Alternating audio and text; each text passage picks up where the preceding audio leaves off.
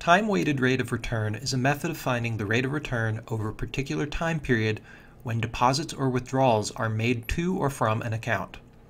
The cash flows break the period into subperiods.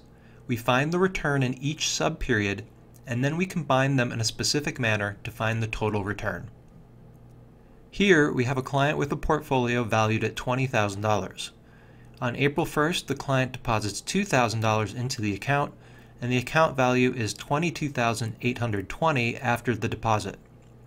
This deposit creates a sub-period from January 1st to April 1st.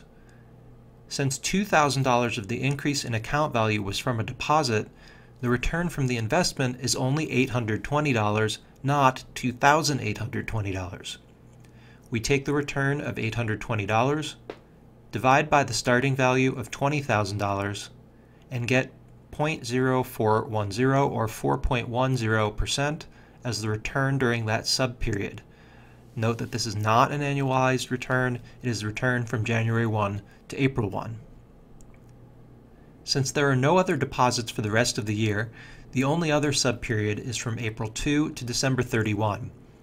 The increase from 22,820 to 24,000 is all from investment return, so we can find the percentage return by taking the difference and dividing by the starting value we get 0.0517 or 5.17% as the return from April 2 to December 31.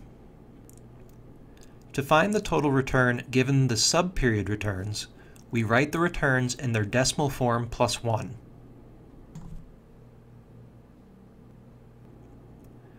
We then multiply these values together and subtract 1 from the result.